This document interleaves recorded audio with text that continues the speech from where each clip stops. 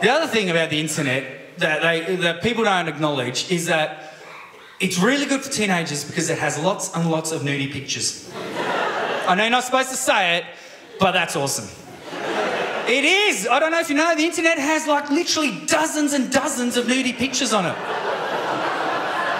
Doesn't matter your sexual preference, your gender, whatever, it's got you covered. Throw any three adjectives in there and you'll see something. That's awesome. Remember when you were like 15 and 16, you were desperately in need of a nudie picture and there was nothing? All we had was our memory and, ima- and imagination. The two shittest tools for that job. You couldn't enjoy any time at the beach because you're like, I'm gonna have to fucking memorize all of this. No, I can't swim. I'm collecting data.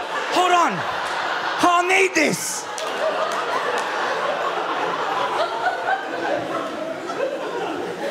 You're not going to find nudie pictures in the Encyclopedia Britannica. I know, I tried. I looked heaps.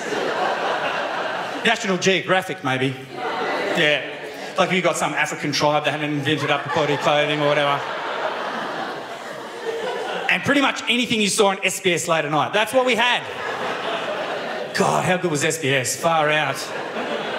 You remember, like, you were watching a, a like a movie with your dad, and then he'd get up to go to the toilet, you just quickly change, and just hope to God soccer wasn't on that night.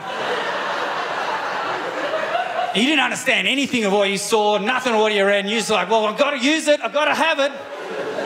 And then later on, when you needed a nudie picture visual, you just had to like cobble together all those disparate bits that you saw, like he was part bikini lady from the beach and part African tribeswoman and part black and white Albanian chain smoking landlady, you know, and just smush it together into one Frankenstein's monster of a kind of visual. I used that one for like three months, serious. We didn't even have it that bad when you think about it. It was like TV, SBS, whatever.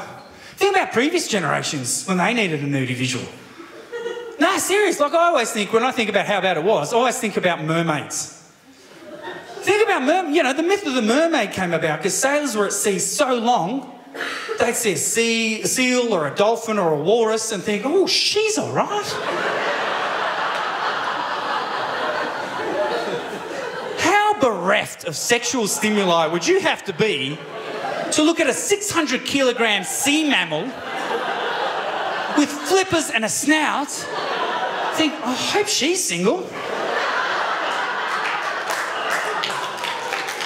Look at her waddle across the rocks there on her belly. Step into the ocean and just snaffle half a ton of tuna. That's woo. Back off, fellas. The one with the tusks is mine. I've got her.